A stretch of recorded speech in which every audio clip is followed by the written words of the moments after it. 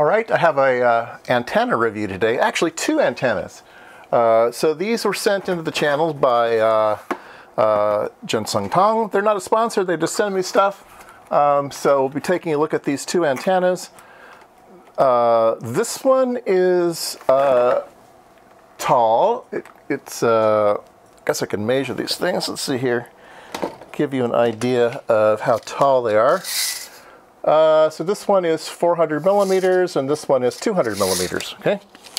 Um, and uh, this one, they, so they're both on, uh, they're both on magnetic bases, okay? So you need to put them onto something metal. They're gonna be uh, ground plane uh, antennas. And uh, this one is listed as a 8 dBi, 915 megahertz hotspot antenna um, and so uh, it has a, uh, a bend on it. So I guess you can put it on something uh, vertical and then you can bend it up. So that's kind of nice. You can have more options to bend this around. And the antenna itself is uh, SMA male and the base is an SMA female. Okay. And uh, there's these little bulges in here, but they're not. They don't do anything. I think they're just over molded. There's. It, it's probably a coaxial uh, design, like like that other one I showed before. Uh, it's probably just segmented of uh, different sections here of uh, different uh, different stubs. And then this one's a little short little guy, and he is listed as a 868 to 915 megahertz again, hotspot mm, antenna, LoRa type thing. This antenna is very strange. I've never seen antenna much like this before. Again, it's a um, magnetic mount. Um, both of these come with very long. Oops, both of these come with very long cables. They come with eight eight foot long cables, and they're terminated on the other end with SMA male. Um, but this one is very very odd. Uh, if I take this off, uh, there's just a stud here, like an M, M5 stud. And uh, this piece here is solid brass. I mean, this is a weapon. um, it's just solid brass. There's nothing else to it. It's just a hunk of brass. And it's super heavy. I mean, this thing's, like I said, it's like a weapon. Um, so I've never seen an antenna constructed this way. Now, a lot of times, especially at high frequency and stuff, um, you have a large conductor uh, on your antenna, and that will broaden the wavelength range that the antenna will operate on. It will make it a little bit broader than having a thin antenna. So, um, yeah, pretty weird. It necks down a bit here when it attaches, but I've never seen anything like this before. So I'm really curious to put it on the VNA and sweep these both out. Um, so they're both, um, this one's supposed to be 915 and below, and this one's supposed to be 915. So yeah, let's go, uh, let's go try them out. So I think what we'll do is, uh, let me, let me set up the VNA. Uh, I think I'll do a sweep of 500 megahertz and up. So we'll do a start frequency of 500 megahertz. So we'll go from 500 megahertz to 1.3 gigahertz. I think that will be a good range for these antennas. Uh, so the first thing we need to do is calibrate.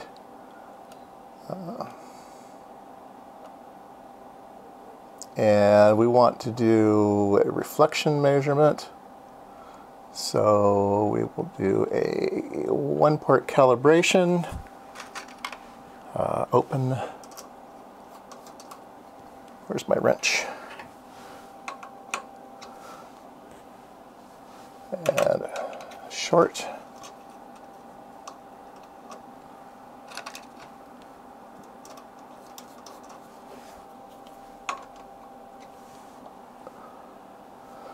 Load.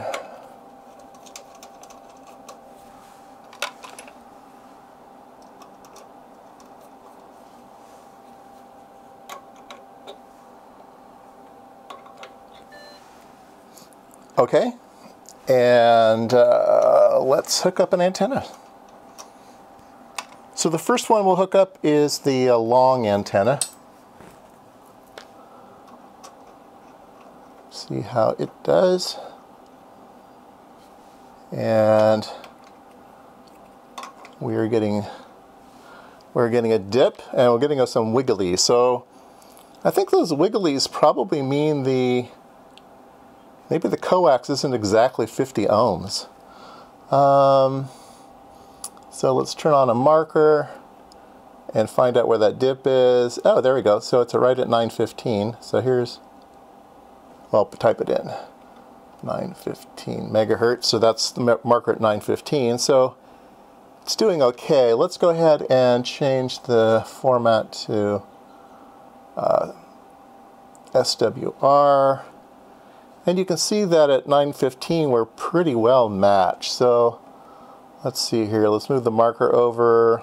Let's go over here to one, maybe 1.4 to 1. It's 850 and on the other side 1.4 to 1 it's around 950 so 850 to 950 this antenna is very broadband 850 to 950 and it has some wiggles in it. And like I say I think that's probably a mismatch of the uh, I'm grabbing the uh, I'm grabbing the coax to see if I can modify the SWR or the you know the outside.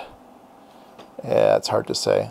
But anyway I think that's probably probably a mismatch of the cable uh, what I'm going to do is I'm going to display and I'm going to, oops, let's see here, data to memory, data, oh, I don't want data over memory, I want data and memory, there we go, that's what I wanted. So I'm going to disconnect this antenna, but it's, it's going to remember it. I've stored that in memory, okay? So we can compare it to the other antenna, because they're supposed to be basically the same type of antenna. So let's put the short, this is the little short antenna that was solid brass. And yeah, we're getting a different, uh, we're definitely getting different uh, wavelengths here. So it is not a 915. So let's turn the marker on here. It's very best around uh, 1. 0.05 gigahertz. So much higher frequency. So this is, this is a mis, mislabeled antenna. I would call this a 975 to uh, 994. So 075 to 094. Um, so very, very different antenna. Um, wow. So I'm not sure exactly uh, if the seller knows this or not, uh, but he does now. uh, but yeah, it's definitely uh, the higher band. I don't remember which band that is. I think it's 10 point, 10.068 or some, I forget. Um, but it, it, would work for that higher band, but certainly not a 9, a 915. It's definitely not a 915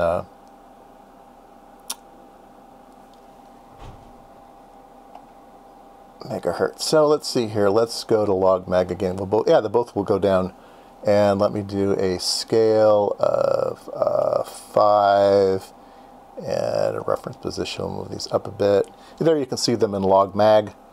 Um, yeah, definitely not quite the right uh, scale. Let's see, marker. This one, its dippest dip is uh, 1056 and the other one I can't get to because it's not the one being displayed yet. But it's over here. We, we already saw that one. Um, yeah, there you go. Um, what do these look like on a Smith chart, just for fun? uh, oh, yeah.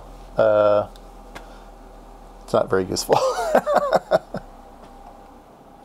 All right, there you go. The two antennas are very different, and uh, the short antenna looks like it's mismarked. Um, but that's my review.